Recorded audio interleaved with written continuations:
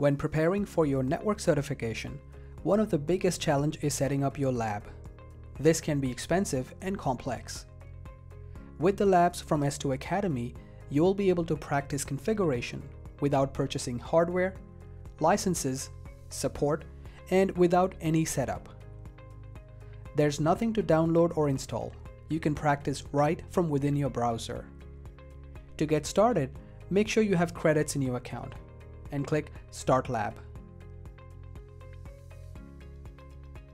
Choose from the available labs and click Get Started. This will show you the credits available in your account and how many times you are able to stop and start the lab. To begin, click Start Lab Now.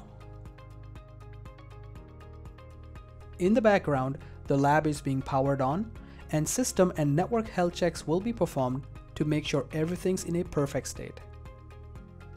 When ready, the IP details are shown.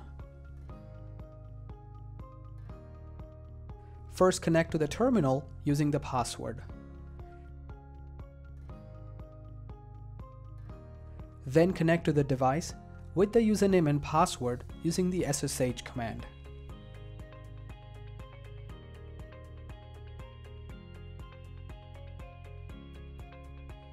Now you're logged in and ready to practice configuration.